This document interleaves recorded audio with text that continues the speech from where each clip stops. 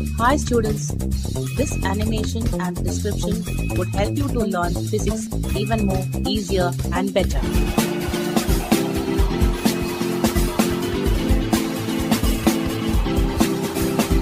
So please do watch it and enjoy learning physics.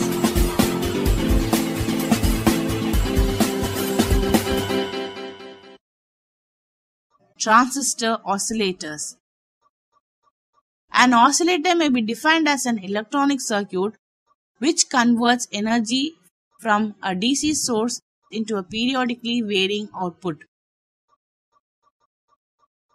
Oscillators are classified according to the output voltage into two types, namely sinusoidal and non-sinusoidal oscillators.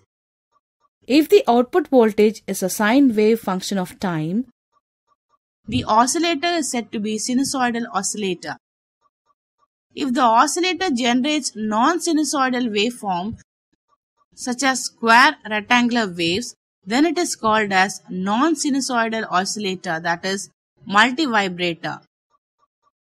The oscillators can be classified according to the range of frequency as audio frequency AF and radio frequency oscillators RF oscillators. Sinusoidal oscillators may be any one of the following three types LC oscillators, RC oscillators and crystal oscillators. Thank you for watching. Please subscribe this channel for more videos.